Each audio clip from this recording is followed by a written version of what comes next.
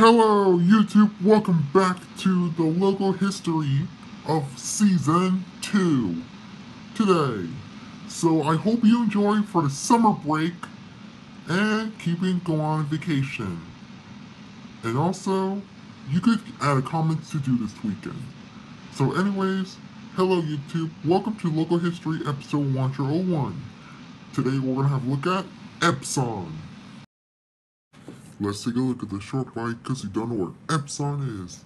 It is a Japanese multinational electronics company and one of the world's largest manufacturers of computers, printer, and information that was launched on May 18, 1942.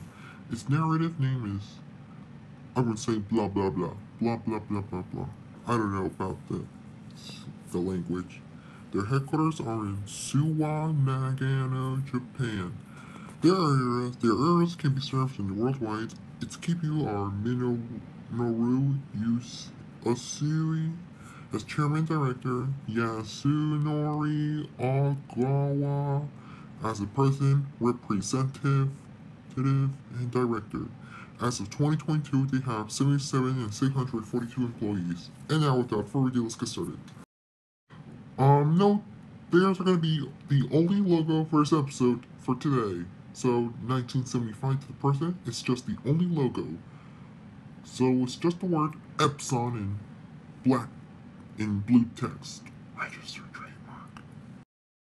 Okay guys, that's it for now guys. Thank you so much for watching this episode of the second season of the logo history and I will see you on Thursday for a brand new episode. Stay tuned for episode 102, Canon. Bye bye.